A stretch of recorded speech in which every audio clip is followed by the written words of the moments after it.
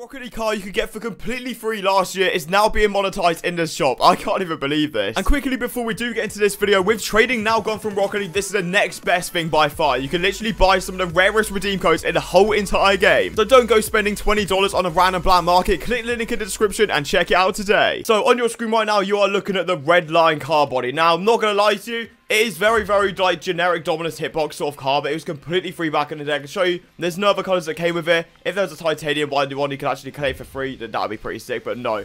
Absolutely nothing, and, yeah. If I go to the shop, can't even believe I'm saying this. A titanium white Redline is sat there waiting for you for 800 credits. If you didn't get it for free, and you want to get it, only way is going to be buying this. Absolutely outrageous, but yeah, we'll check it out right now.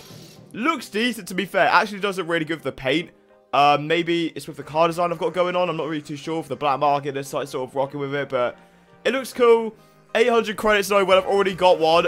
I'm going to pass. Of course, if you do want to support me or support any Rocket League creator, whack a creator code in. Mine is going to be ZenicYT. If you are going to buy anything from the shop, I highly do appreciate it. And yeah, rest of the shop, I'm pretty sure it's the exact same. You know, we're looking like Fortnite right now. We've got all this random... Actually, hang on, that's new.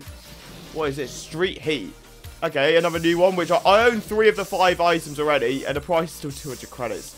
200 credits for these two items, gonna pass on that, and I'm pretty sure the rest is the exact same as it was before. No major updates coming to the game. Uh, rest of the shop, yeah, even I'm gonna release this late, oh, I can afford to, because there's nothing there. Like, please, don't buy this. Save your credits, buy something else, because that's gonna be the equivalent of yeah, like $10 if you actually do want enough credits to actually buy that thing. And if you don't, and you've already got credits, still $5 down the drain. But yeah, just don't go near it. Of course, make sure you subscribe for more daily Rocket League content. And yeah, guess I'll see you tomorrow.